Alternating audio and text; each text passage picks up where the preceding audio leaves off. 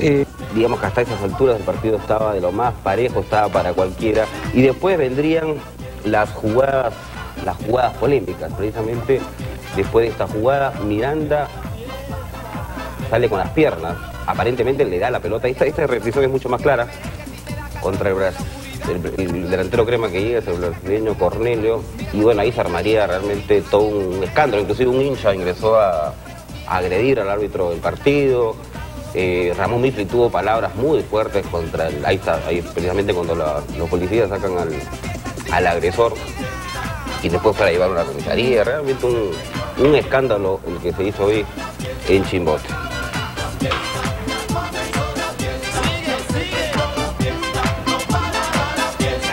Ahí está Coria, que va a marcar su tercer gol por Universitario de Deportes, el primero en el torneo Apertura frente a Miranda, elige el lado derecho del arquero y de esta forma Universitario de Deportes encontraría el empate.